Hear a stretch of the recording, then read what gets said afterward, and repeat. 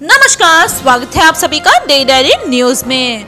Bollywood actress Kangana Ranaut ने रजत शर्मा की show आपकी अदालत में अपने एक्स बॉयफ्रेंड ऋतिक रोशन के बारे में कई सनसनीखेज खुलासे किए।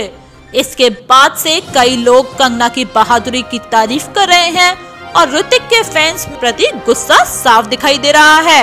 जब हाल ही में ऋतिक ने एक ट्वीट किया तो उनके फॉलोअर्स ने उनको ही जमकर खरा खरी खोटी सुना डाली। दरअसल ऋतिक ने अपने ट्वीट में रांची डायरीज नाम की आने वाली फ़िल्म के गाने का लिंक शेयर किया था।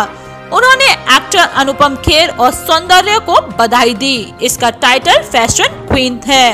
ऋतिक के फॉलोअर्स ने इसी पर कंगना के इंटरव्यू के जवाब में अपनी प्रतिक्रिया दे दी।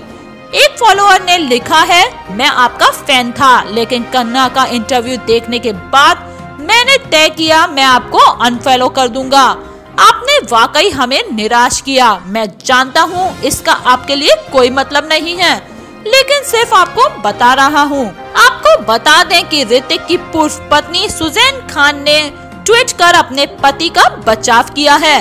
ऋतिक ने अभी तक कंगना के आरोपों पर कोई प्रतिक्रिया नहीं दी है।